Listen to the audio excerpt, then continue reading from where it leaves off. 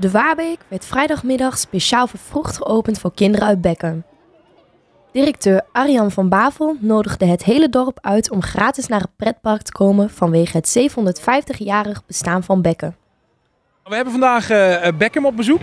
Uh, is heel erg gezellig. Zij zijn namelijk 750 jaar bestaat het dorp. En daarom hebben wij ze uitgenodigd. In feite hebben we gewoon tegen het hele dorp gezegd van we nodigen jullie uit. Maar uh, er is een stichting, 750 jaar Beckham. En die heeft zeg maar besloten om het op de scholen uit te delen. En de mensen die te laten inventariseren waar het naartoe ging. En zodoende zijn er dus ja, heel veel kinderen. Maar dat is natuurlijk ook onze doelgroep. Dat is het leukste hier ook op de Waarbeek. Ik heb even rondgelopen net. Ik ben nog niet langs de kassa geweest. Maar ja, om naar bij de 200 kinderen moeten het op het moment toch wel lopen. Dus dat is zeker gezellig. En we zijn nog vroeg in de middag. Dus. Ook in de winter is het oudste familiepark van Twente gewoon geopend.